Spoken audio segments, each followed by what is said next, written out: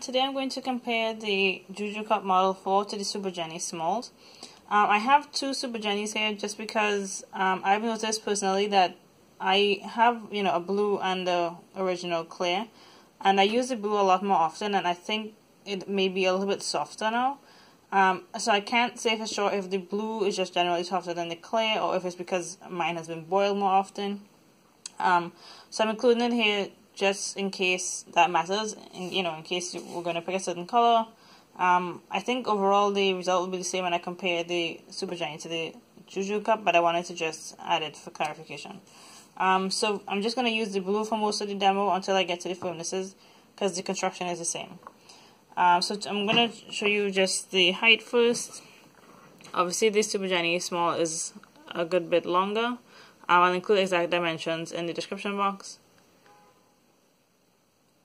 So that's about, you know, not including the stems, I don't know, 5, 10 millimeters, not 10.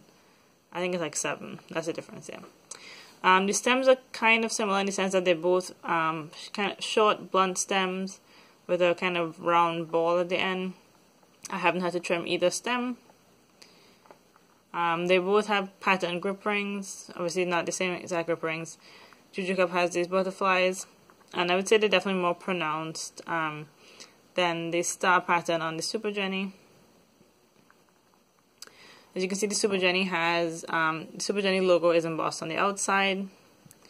It has measurements in it. Um, it has ounces on one side, and then milliliters on the other.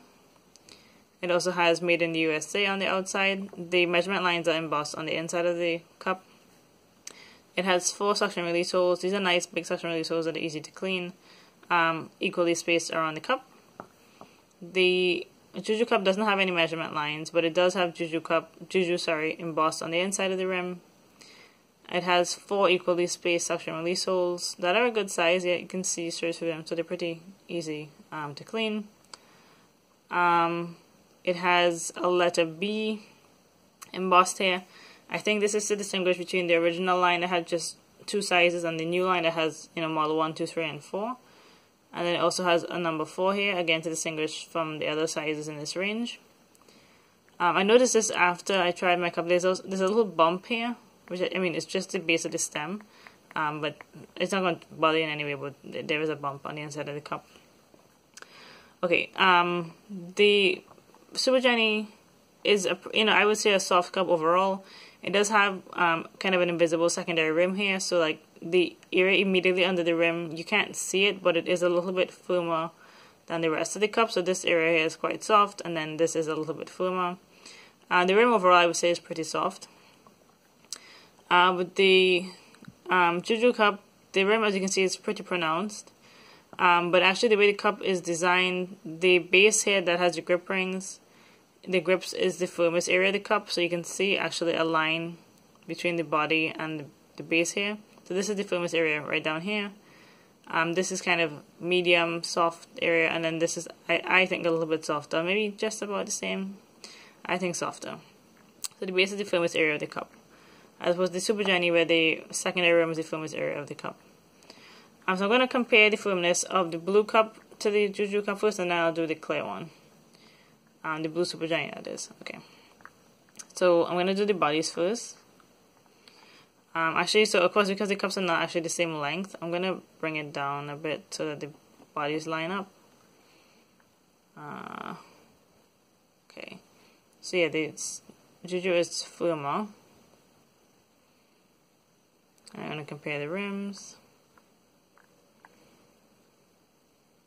And uh, the rims maybe are about the same. Ignoring what the bodies are doing, the rims seem to be closing up at about the same rate. Um, the diameter of the Super Jennie, I think, is 43 millimeters, and the diameter of the um, Juju is 48, so it's quite a bit wider. And also, I think, you know, in terms of the firmness and whatnot, um, this cup is going to, at least for me, it sits higher up than the Super Jennie because it is shorter. So it kind of, you know, goes up under my cervix and then there's a lot more space under it so I'm not sure like you know comparing the firmness of the body the experience will be a little bit different just because the cup is in a different place in your vagina so you know just something to think about Uh, so I'm going to just compare it quickly to the um, the clear one just so you see if there's any difference in the firmness. So I'm going to do the bodies first. I'm just going to bring this down thereabouts to line up the body. So the Super Jennie, sorry, the Juju is still firmer than this clear Super Jennie.